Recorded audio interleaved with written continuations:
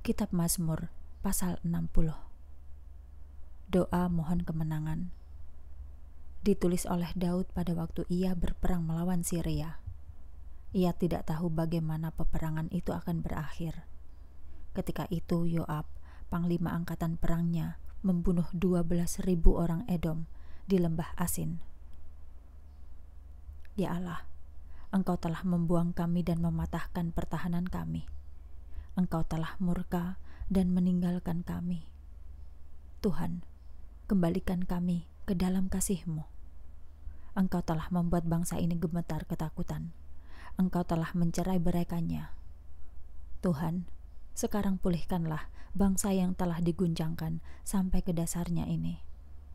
Engkau telah berlaku keras terhadap kami dan membuat kami sempoyongan karena pukulanmu tetapi Engkau telah memberikan kepada kami sebuah panji untuk mempersatukan kami.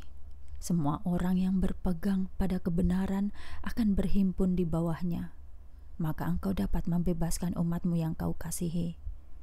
Pakailah tangan kananmu yang kuat untuk menyelamatkan kami.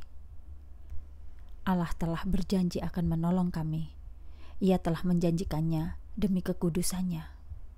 Tidaklah mengherankan kalau aku bersukaria. Sichem, Sukot, Gilead, dan Manasye masih tetap milikku, katanya.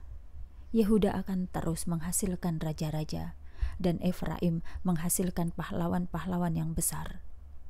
Moab akan menjadi hambaku yang hina, dan Edom akan menjadi budakku.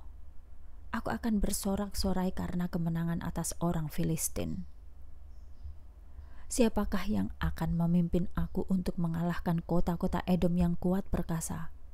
Siapa lagi kalau bukan Allah? Dia yang telah membuang kami dengan menyerahkan kami kepada musuh-musuh kami. Ya Tuhan, tolonglah kami terhadap musuh-musuh kami, karena pertolongan manusia sia-sia saja.